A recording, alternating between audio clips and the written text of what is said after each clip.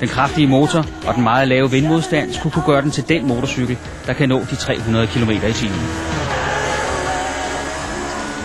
Køreklars reporter Chris Hummelshøj har sat sig for at undersøge, om det kan passe. Lige inden grænsen monteres et lille kamera op på tanken. Og det indstilles, så det kan registrere speedometer og omdrejningstæller under testkørselen på den tyske autobahn. Tag den lige igen der. Så er vi kommet ned til Tyskland, hvor der er frie hastighedsgrænser. Og hernede kan man køre lige så tosset stærkt man vil. Så øh, det er på rigtig plads, den her den kører 300 km i timen.